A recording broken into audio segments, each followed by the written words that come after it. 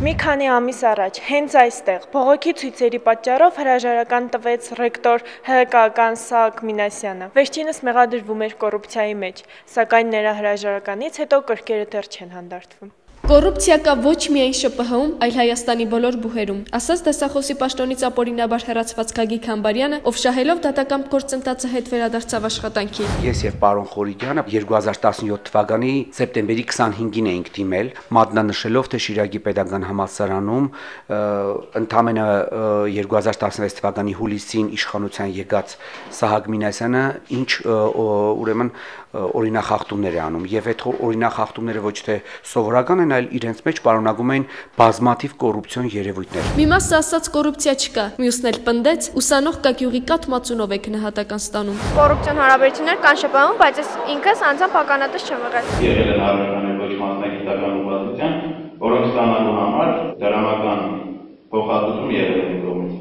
Լինում են տարբեր դեպքեր, երբ ուղղակի կուրսի հավաքն է գումարը հավաքում բոլորից եւ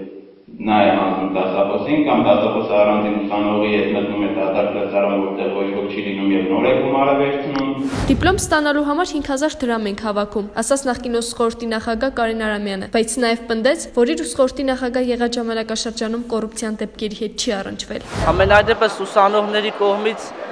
բողոքներ չեն եղել, հարցեր եղել են ինձ ուղված որպես ուսանողական խորհրդի նախագահ։ Ես այդ հարցը մոտեցել եմ Տիկին Ֆարմանյանին, ու ինքն ինձ բարձաբանել է այսպես, որ դա դիպլոմների տպագրության, ավարտական միջոցառումների ինչ-որ ծաղիկների եւ այլնի եւ այլնի ծախսերի համար նախատեսված գումար է։ Ինչ նպատակներով են ուսանողներից հավաքվել 5500-ական դրամներ։ Այս մասի խոսեց ЧՊՀ-ի նախկին պրոռեկտոր Անայդ Վարմանյանը, ում դեմ հարուցվել է քրեական գործ այս խնդրի վերաբերյալ։ Այս խնդիրների հետ կապված ես ընդամենը պատասխանատու եմ եղել դիպլոմի միջուկ եւ դիպլոմի բովանդակություն հասկացություններին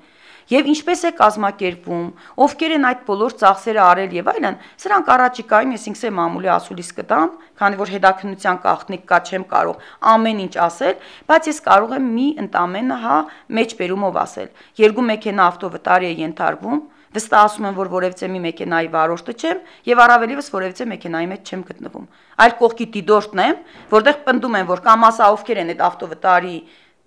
ենթարկված մեքենաների վարորդները կամ եթե դու չէ դուք եք պատասխանատու։ ՇՊՀ-ում տարիներ շարունակ եղել է կոռուպցիա, որի հետևանքով դուժել է միայն բուհը, իսկ թե երբ վերջ կտրվի այս ամենին դեռ պարզ չէ։